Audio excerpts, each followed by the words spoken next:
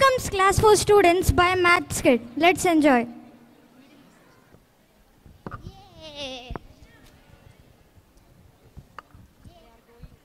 Hello kids.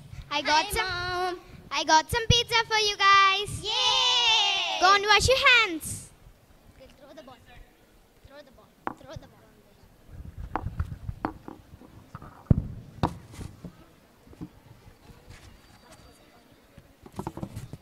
One pizza for you. Second pizza for you. Third pizza for you. Yay! Let's start eating. Yummy! Delicious! I ate half of my pizza, which my fraction is 1 by 2. No! No, I ate 2 pieces more than you. My fraction is 2 by 4. No, I ate 3 I ate more pieces than you. I ate 3 pieces. My fraction is 3 by 6. No, I ate more. No, I ate more. No, I ate more. No, I ate more. I Hello? ate more. Yes, ma'am. You're always welcome, ma'am. Stop. Your teacher is coming over. Yay! Good morning, children. Good morning, ma'am. How are you? Fine, ma'am.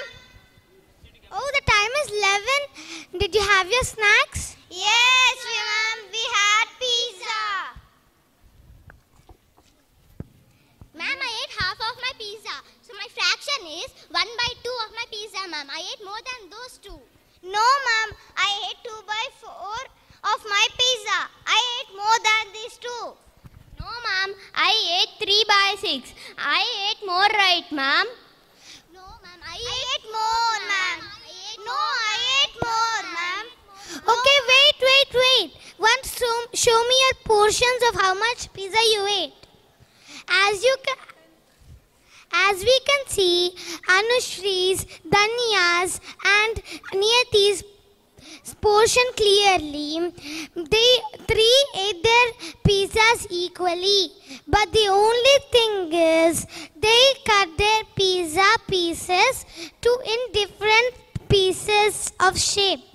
So they three ate this equal equal portion of pizza. So one by two equals of two by four and three by six. So these are called so these are called equivalent fractions. Yay! Today we learned a new topic. Equivalent fractions. Thank you. You're welcome kids. Today we learned a called equivalent fractions. Thank you.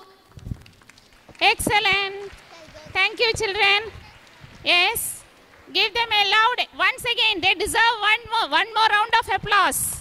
Yes. Once again, that small kids, very, they have done a good job. Thank you, children.